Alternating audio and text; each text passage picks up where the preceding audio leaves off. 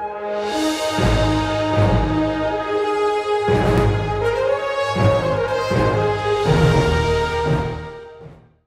welcome back. Uh, this is Expedition STEM, and right now we're going to be checking out some cool technology. So I'm here with Arthur and Fernando, and they are from which country? Brazil. Brazil. Brazil. And uh, so tell me a little bit about. I see you got an Iron Man mask and like a Captain America mask.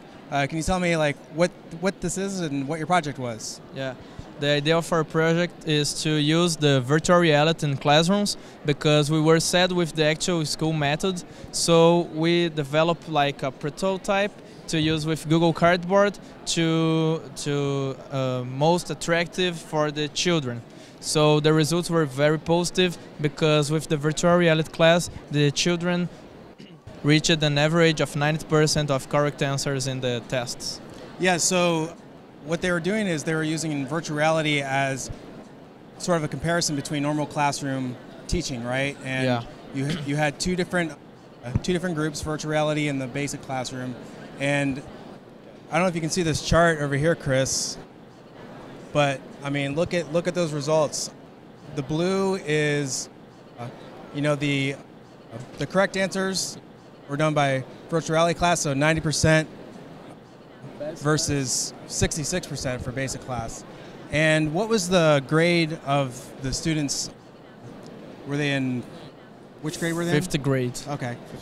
And so, what kind of test was it they were given, or what kind of subjects were they learning? The subject was solar system okay. because they study solar system in fifth grade, Mhm. and the application that we used it was a, an app of solar system too. Okay. Was it an app that already out there that exists, and they were just learning through that one, or did you develop the app? No, we that. just used an available app Okay. that we, we went to a meeting with the teachers and principals to choose like the the subject to use Okay. to, uh, with available app. So we choose the solar We- system. We create a we we create a platform with uh, subjects and the teacher can use this, this platform and use uh, virtual reality. So science or math, uh, all the subjects in this platform. Okay. It's uh, more education or Right. And so, what was kind of the response from teachers? I'm sure you shared your results with them. Like, Yeah. what do they think about that? What does the school system think about virtual reality in the classroom? One teacher said like the virtual reality was be- one hour of virtual reality was better than one week with basic class because like students that never been like interested in the in the class they paid more attention and they asked a lot of questions about the subject That's cool.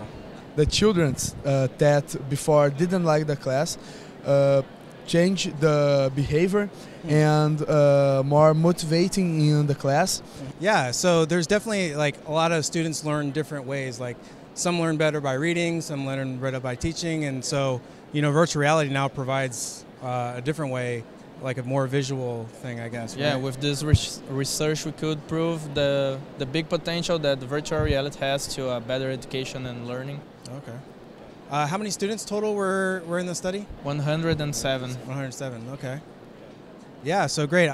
Thanks, Fernando and Arthur, for welcome for stopping by. And by the way, these not only if they're from Brazil, but they were like you know the top in their category to come to ISEF this year. So you know this this project won top in their category for science and computer or computer science, yeah computer science in Brazil. So congrats on that, Thank and you. good luck here at the fair. thank you Have a good day.